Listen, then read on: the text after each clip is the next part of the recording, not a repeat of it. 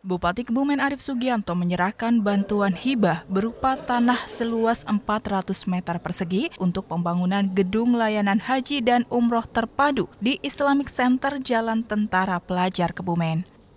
Kesepakatan itu ditandai dengan penandatanganan berita acara kedua belah pihak, yakni Bupati Kebumen Arif Sugianto mewakili pemerintah kabupaten dengan Kepala Kantor Kementerian Agama Kabupaten Kebumen Soekarno di Pendopo Kabumen Jumat 29 September 2023. Bupati mengatakan dengan adanya hibah ini diharapkan layanan ibadah haji dan umroh di Kebumen semakin baik.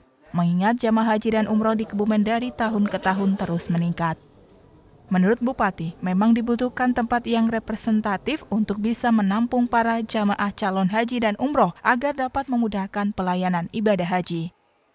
Alhamdulillah hari ini kita menyerahkan aset berupa tanah yang insya Allah akan dibangun oleh KKN Kemenak dalam rangka pelayanan terpadu untuk jamaah haji sehingga pelayanan tidak numpuk ada di Kemenak dengan adanya bertempat di lokasi Islamic Center sehingga di sana jauh lebih mudah untuk diakses dan juga jauh lebih luas.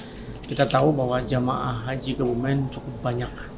Bahkan kalau mau diberangkatkan semuanya nggak muat nih alun-alun sehingga perlu ada tempat yang sangat strategis dan juga menampung uh, jumlahnya jamaah yang begitu banyak. Sementara itu Soekarno menyampaikan terima kasih atas hibah tanah ini Hal tersebut sebagai wujud dukungan pemerintah daerah dalam mengupayakan layanan haji yang semakin baik. Dengan adanya gedung tersebut, layanan haji akan diarahkan di sana, termasuk manasik haji.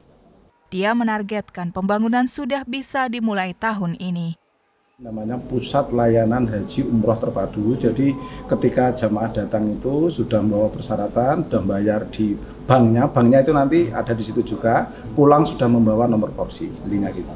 Itu gedung itu nanti digunakan untuk apa Pak? Ya, untuk ya untuk untuk apa namanya untuk aula, untuk manasik, untuk pembekalan masalah haji, untuk pendaftaran dan seterusnya. Pertemuan-pertemuan bisa di sana. Dari Kebumen, Tim Liputan Kebumen TV memberitakan.